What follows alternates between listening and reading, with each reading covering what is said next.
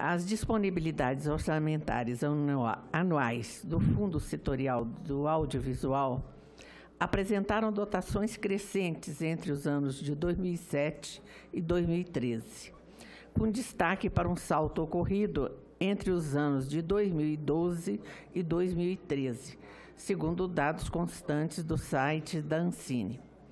Contudo, essa disponibilidade sofreu uma redução em 2015 comparativamente ao ano anterior.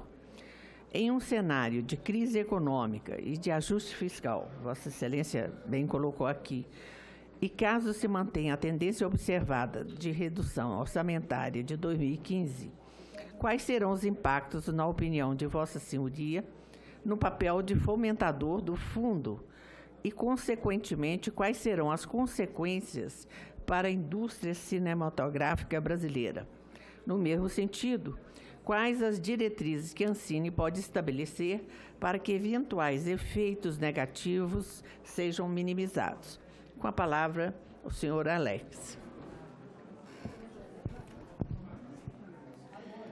Em especial quanto à questão da disponibilidade financeira do fundo, Hoje é consenso que nós deveríamos aperfeiçoar os modelos e os métodos, os procedimentos de aplicação de recursos do fundo, para que nós pudéssemos fortalecer as empresas e desenvolver melhor as atividades. Esse fundo é custeado por contribuições da própria atividade. O custeio cresce na medida que a atividade cresce. É, e esses recursos são muito importantes para a aplicação na atividade, porque é uma atividade que ainda funciona por indução e muito precisa desses recursos em busca da sua autossustentabilidade.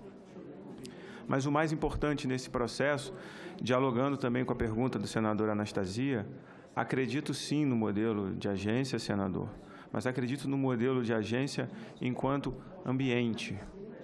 Ambiente para que todos os partícipes, todos os agentes envolvidos ali dialoguem e ali busquem a solução mais adequada para o desenvolvimento da atividade.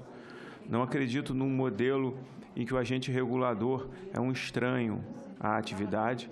As atividades são livres, o desempenho das atividades deve ser facultado e deve ser estimulado o empreendedorismo e cabe à agência criar um ambiente de diálogo, de participação para encontrar a melhor solução.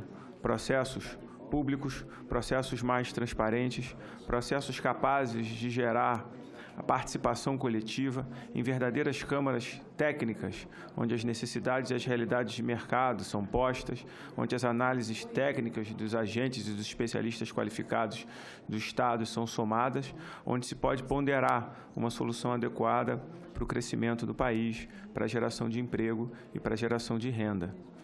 Esse modelo é retratado na questão da acessibilidade.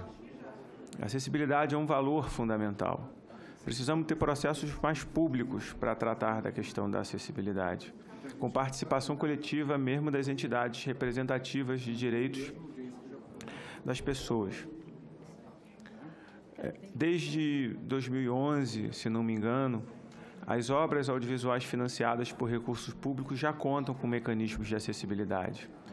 O desafio agora é estender essa possibilidade para o consumo de obras nas salas de exibição.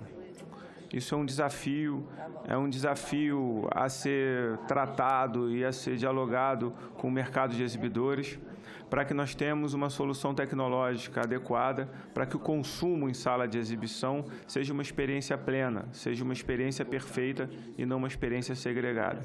Mas a acessibilidade é um valor fundamental.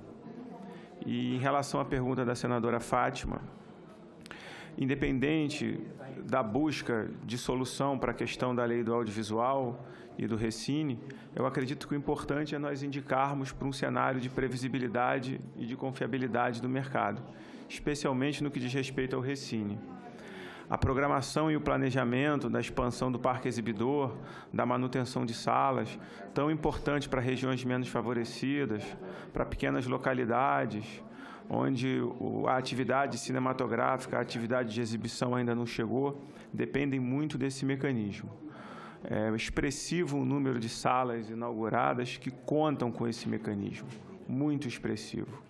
Nós precisamos da prorrogação desse mecanismo e precisamos da prorrogação desse mecanismo por um período de tempo suficiente ao planejamento dos empresários do setor.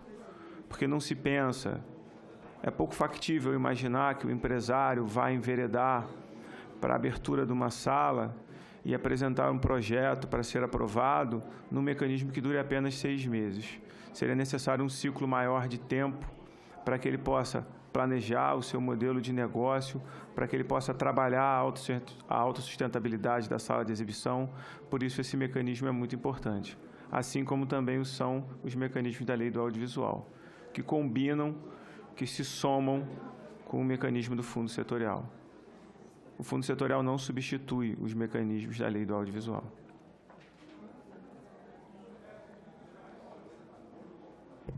Agradeço o senhor Alex e vamos passar à contagem dos votos. Acho que já teve o quórum.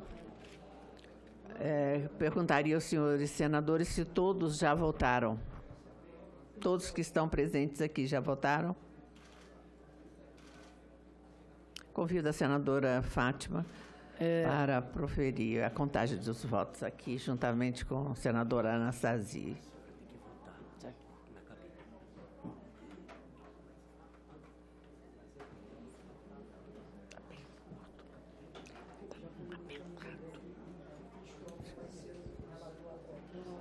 14. Precisa ir a cabine Chega, não, é, é, é, virtual. Ah, é virtual, é mesmo? Achei. É. as cadeiras, então vá. Então, desculpa. É. Tá bom. Pode, pode abrir o painel, por favor.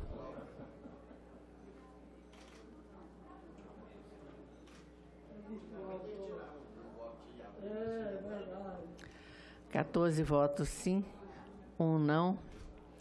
Aprovado. Total de votos é, 15, brancos zero.